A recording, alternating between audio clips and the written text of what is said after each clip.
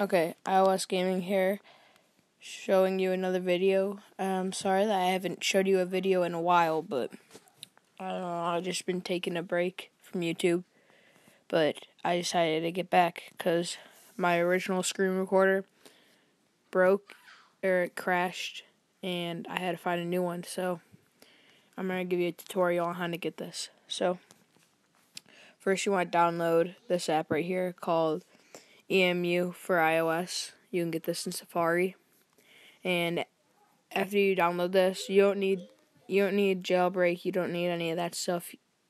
And you don't need to set your day and time or any like anything like that.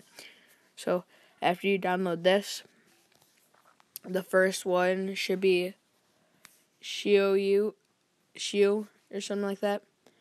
I think I'm pronouncing that wrong, but whatever. So anyways, it's this one and you hit install, confirm, and then yeah, I'll download, and then you go to here, and you're gonna want to hit start recording, but I already I already hit it because I'm recording, and then you want to shoot a video, and then you hit stop recording, and you can see your video, but the thing is you can't go into apps unless you enable Assistive Touch.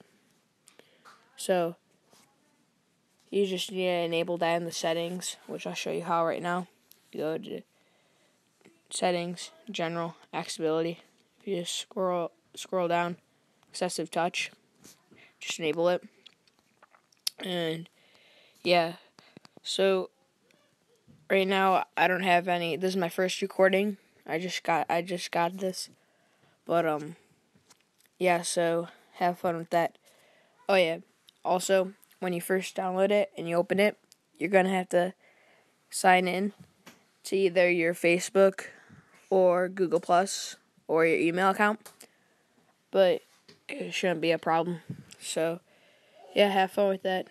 And I'm going to try to make more videos, so subscribe, like, comment, and share the link to your friends. Bye.